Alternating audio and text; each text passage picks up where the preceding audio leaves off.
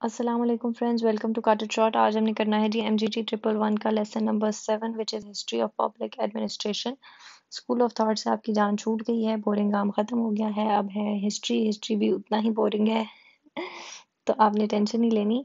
Let's get started पहले हमने बात की है कि जी public administration in the subcontinent बहुत अच्छे तरीके से आ, काम चल रहा था जब तक मुग़ल का दौर था सब कॉन्टिनेंट में मतलब इसकी डिवीज़न से पहले की बातें हमने पढ़नी है।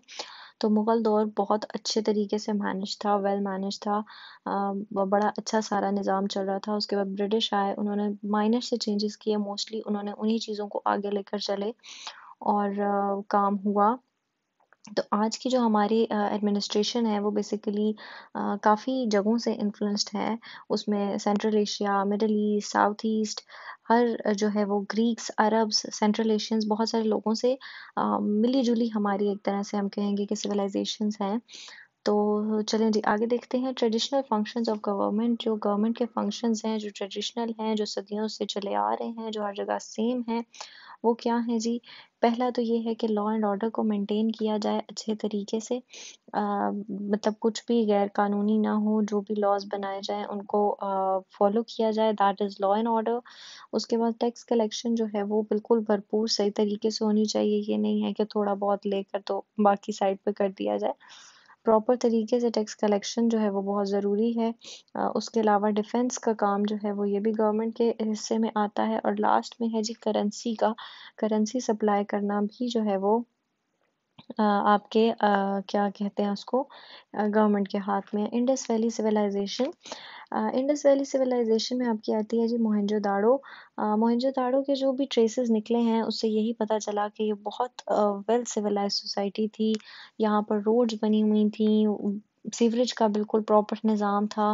ब्रिक्स और ग्रैनरी से हाउसेस बने हुए थे। मतलब बिल्कुल वेल डेवलप्ड ये सिविलाइजेशन जो है वो देखी गई कि ये बहुत अच्छी तरह मैनेज थी थी और बहुत अच्छी यहाँ पर सिविलाइजेशंस थी। कोई म्यूनसिपल को गवर्नमेंट पता लग रहा था कि वहाँ पर है, जो कि सारा निज़ाम जिसने चलाया हुआ था।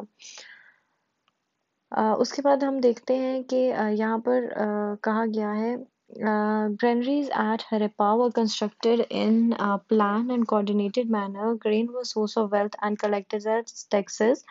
Uh, जो uh, अनाज था यही वहाँ पे बेसिकली मनी के तौर पर यूज़ होता था इसी को टैक्स के तौर पर एक्सचेंज किया जाता था और ये जो जगह थी ये प्रॉपर प्लान और कोऑर्डिनेटेड थी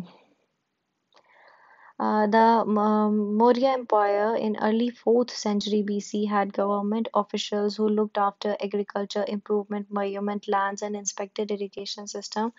Maurya के टाइम पे जो गवर्नमेंट के फ़ंक्शंस थे जो तीन कैटेगरीज में गवर्नमेंट को डिवाइड किया गया था वो थी डिस्ट्रिक्ट ऑफिशियल जिनका काम था इरिगेशन और लैंड से रिलेटेड सारे मामला को देखना अब जैसे कि डेवलपमेंट अथॉरिटीज़ होती हैं officials dealt with military defence के मामला से ताल्लुक़ रखने वाले लोग और उसके बाद थे कैपिटल मैनेजमेंट वाले, जिनको छः मज़ीद बोर्ड्स में डिवाइड किया गया था, जिनका काम था फॉरेन फॉरेनर्स की केयर करना बर्थ एंड डेथ के बारे में जानना ट्रेड को देखना ट्रेड के माल की इंस्पेक्शन करना सेल्स टैक्स इकट्ठा करना और सुपरविजन ऑफ़ फैक्ट्रीज़ ये सारी चीज़ें एक बुक कोतलिया में मेंशन हैं।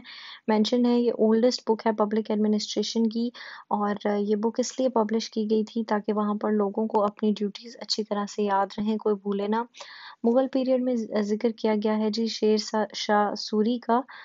It's look like a tongue tongue twister Sher, Shah Suri जो हैं, इन्होंने 47 डिविजन्स में डिवाइड किया था और फर्दर सेवरल सब डिविजन्स में इस पूरे एम्पायर को।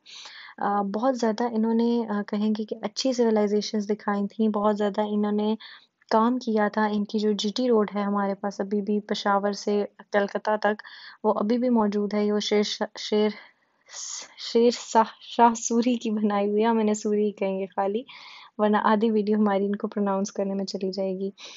अच्छा तो इन्होंने पब्लिक वेलफेयर के लिए बहुत ज़्यादा काम किए हैं। अभी भी वो चीज़ें मौजूद हैं इनकी बनाई हुई। उसके बाद आए अकबर। अकबर ने भी बहुत ज़्यादा काम किया है अच्छे अच्छे काम किए हैं। उनकी चीज़ों को आज तक लोग फॉलो कर रहे हैं।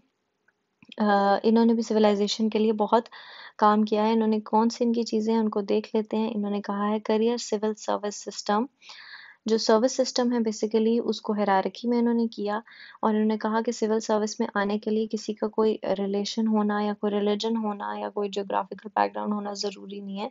बिल्कुल अनबाइस्ड होकर उनकी सिलेक्शन की जाएगी। रेवेन्यू कलेक्शन सिस्टम इनका जो था वो basically on the basis of land के लैंड जो है वो अगर सॉइल जो है वो अच्छी है और कल्टिवेटेड है तो उस हिसाब से उसका टैक्स होगा। अगर सॉइल बंजर है, ज़मीन तो उस हिसाब से उसका टैक्स होगा। रेवेन्यू कलेक्शन इस तरह किया जाता था।